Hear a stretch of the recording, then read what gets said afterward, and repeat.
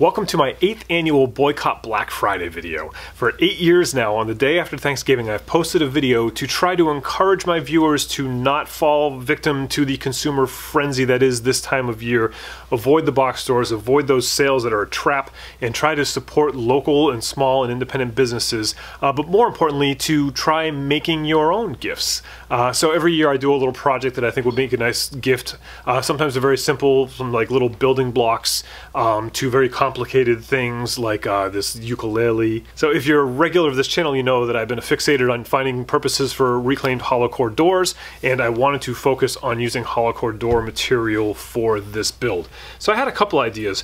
You know, one was um, these sort of flat Lincoln logs that are just a simple kerf cut on the table saw. And um, I thought these are pretty cool, but I mean, you can just see from looking at them what I did. That's not much of a video.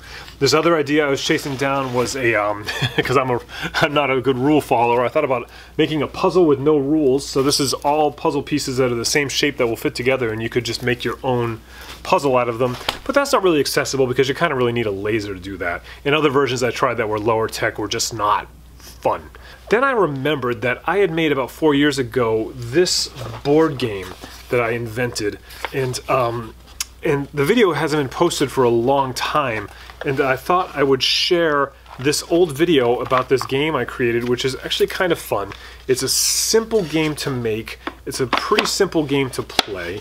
And if you watch this video, you're going to see some of the original footage from the video that was posted in August of 2016, and I'm going to pause it and do a little voiceover and kind of do some narration through there. First, let me show you how the game is played, and then we will jump into the video and I'll, I'll see you later. And you'll see old me um, for a little while too. By old me, I mean young me. You understand how time works, right?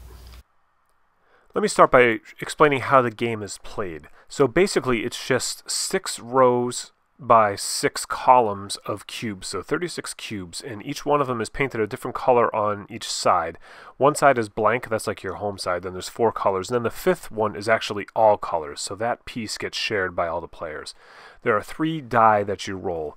Two of them will give you the coordinates on the board, uh, and then one of them is a special move die. So the idea would be if you roll, say, C3, you would take block number C3 and flip it over to your color. And then the third die has your variable that you need to play. Sometimes it's roll again, sometimes it's do nothing, sometimes it's give one of your tiles to your opponent, and sometimes it's take one of your tiles from your opponent.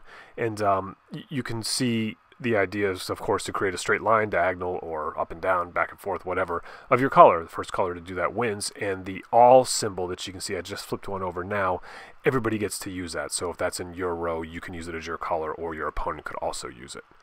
That's pretty much it. The games usually take about 10 or 15 minutes to play, and it is mostly chance, but there's a little bit of strategy, so it's a good game to play with players of all ages to sort of, you know, level the playing field. Now let's go back in time to the original video. Game I invented, it was based on, or inspired by, I should say, an art piece that I saw at a customer's house. I'm just basically saying everything I just said a minute ago here, but slower and more boring. And um, also, I'll let you know that any of the downloads you need, all the information is in the video description. Here I was, had a website with it all set up. I think I was trying to sell them then or something. Now here's my old voiceover with some interruptions. Now I made all of my cubes out of some scraps of uh, reclaimed maple, or I should say just maple cutoffs that I got from Stu Morrison from uh, CNCRouterParts.com. That company is now called Avid CNC and they are a sponsor of mine and at the time they were not. I had not gotten to CNC yet.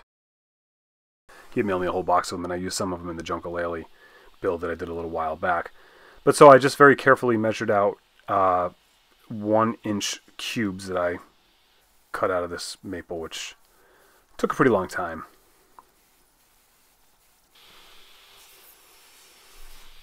I used the crosscut sled to finish them off, of course. Uh, miter sleds are so inaccurate, or miter saws rather.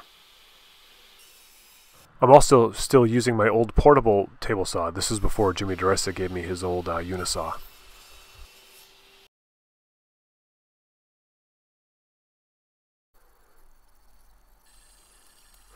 Now, if I were to do this again, you can see I'm making a whole bunch of them here too. If I were to do this again, uh, I would probably not spray paint them. I'd probably find some better solution. But my theory was if they're all tight together, I could then just spray paint one side and uh, the tape would mask the sides. But there was some bleed here and there. So I would do this differently next time. Now, I'm the upcyclist, and I encourage everybody to do their best to not waste and to use reclaimed materials. And you can cut up all your scraps like that to make cubes. But I have to point out too that you can also just go to the box store and buy one of these for about three dollars and cut it into cubes. You're gonna get almost three dozen cubes out of this. Now, since I did have a little bit of uh, overspray, uh, there's the two sides that don't have color I wanted to clean up as best I could. The one side stays blank, which is just the home sort of side of the cube, and then the other side gets all four colors on it because that side can be used by any color. It's like a, a wild card type thing, an all card. Now, I had some leftover uh, quarter inch plywood scraps here and there. What? No hollow core doors? This one I spray painted black, but then the other ones that I made, I actually used chalk paint, so you could use that to keep score or take notes on the inside of the lid. You'll see how that works later.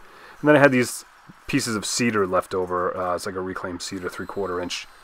This is really not the best wood to use because it's kind of soft, but I was just using what I had on hand, and um, you know, it's just still kind of experimenting with the design as I made these. So just simply mitered them. I routed in a slot for the quarter slot for the wood. You can do that on the table saw or uh, on the the router table like I did. Clamped together the miter with the quarter inch plywood floating inside the slots. So now while that's drying, I went and I just found some scrap oak I had. Again, this could be anything, and I cut these quarter inch by eighth inch. I think you can read the the plans to get the exact dimensions. And this is the layout template that will come with the plans of what the inside of the game board looks like. I could not find the original PDF of my drawing, but you can figure this out.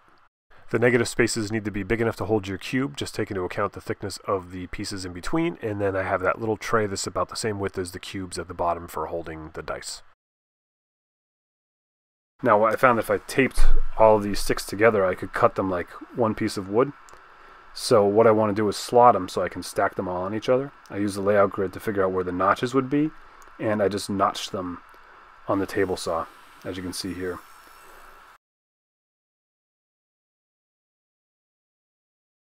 Here I'm just dry fitting it. See how they just sort of, they're a little loose in there, but it also gives me some room for wiggle in case something was off. Now the, the squares are, the cubes are one inch, but the holes are one and an eighth inch, so they do fit in there loosely, because if they're too tight, it's too hard to play and get them out. Now when the box is done, I just set up this quick little spline jig, uh, just so I could quickly cut little slots and pop some hardwood in to help keep those miters nice and tight. I know, such a lame, such a lame jig, but you don't need a big fancy jig for this a little simple project like that. I cut up some walnut scraps that I had laying around into little wafers that I could then pop in for corner security. So then I just cut the box open. And uh, now we can actually access the inside. I have to clean that up a little bit. So that is chalk paint on most of them. Um, now, I, I was going to put hinges and a latch at first, but then I, I just really like magnets. So I instead drilled these holes. I got these quarter inch uh, rare earth magnets that are pretty strong. Drilled the holes in one side and used my um, hole center bits, little punches there to find the center, line it up, and then put magnets on the other side. I use a little super glue to pop them in there, but you got to be real careful to make sure all the magnets are facing the right direction so they don't accidentally repel and you get a nice strong seal. These are actually really strong. You could probably just put magnets on one side and metal on the other side. But I want them to not fall apart.